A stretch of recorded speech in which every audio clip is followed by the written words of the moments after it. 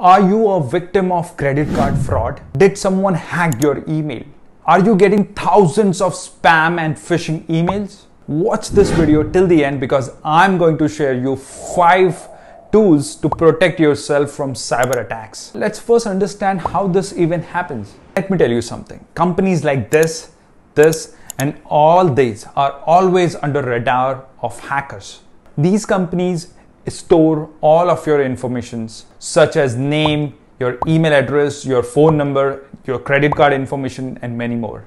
If the company get hacked, hacker also get access to the customer data. Now it's their own choice. They can publish online or they can sell it on dark web. I know, I know, that sounds horrible. Let's talk about the solutions.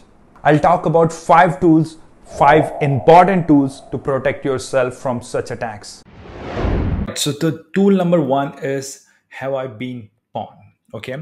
What I can do is to test, just go to the search bar, enter your email address. Um, uh, this is not my email at the gmail.com.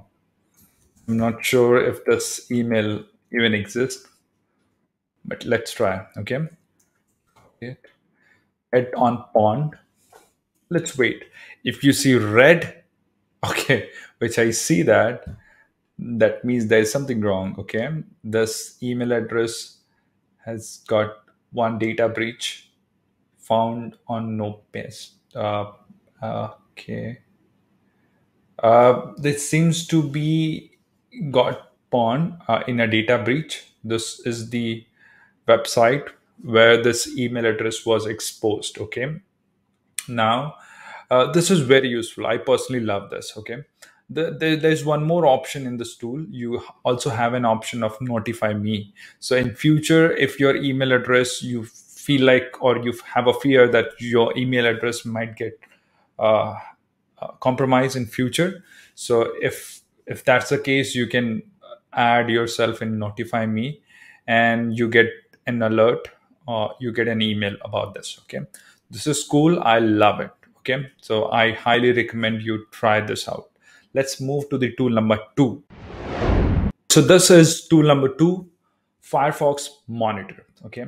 Again come here and enter your email address. This is this is not my email address. You can copy it check for breaches and here you go. Now you see there is some difference okay? Um, in this site you get around okay th- that was some other email address okay? But forget it no worries okay? So i have used this is not my email at the rate gmail.com okay? This is the another random email address i use and this has got comp- exposed in 45 data breaches it has got 45 data breaches so this is really cool you can see Zach's Twitter, uh, IndiaMART. I think this user belongs to India, India itself. Okay, and um, yeah, so this is cool. Uh, but I don't see any option to uh, of notifying yourself. Probably you have to try keeping your account, try doing sign up, and uh, that's where you get some notification and recommendation as well. Okay so this is this is the tool. I haven't personally used it. I heard about i heard about this tool on many of the reddit from subreddit i would say and i thought to you know give you a demo of it. Okay let's move to the tool number three. So the tool number three it's avast hack check now this is very popular. I mean the name itself is very popular for the antivirus. Uh, but as you can see antivirus right? Uh, this is a bit different because you won't see the result on the same page. Rather you will get uh, get an email with all the information okay? As as expected you just have to enter your email address not my email at gmail.com hit on check now. And here you go.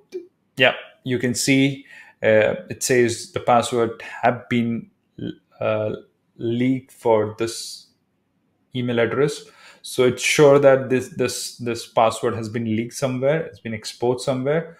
But to get the detailed report you have to check your mailbox okay? So that's that's a simple one okay? Let's move to the tool number four the tool number four is ThreatCop uh, you can visit this website. I'll, I'll mention that in the description below. Then enter the email address. Okay. Click on check. Bad news. You see all the website where it has been compromised. Yeah. So you can also get the full report on your mailbox. Okay so that's the that's another one. I have used it once but i'm i'm still very regular on have i been pawn.com website okay? So let's move to the final one which is on namescan. Okay so the tool number five is namescan okay? You can see on the top. Uh, again the simple one enter your email sorry enter the email address. This is not my email. Click on scan. This is good.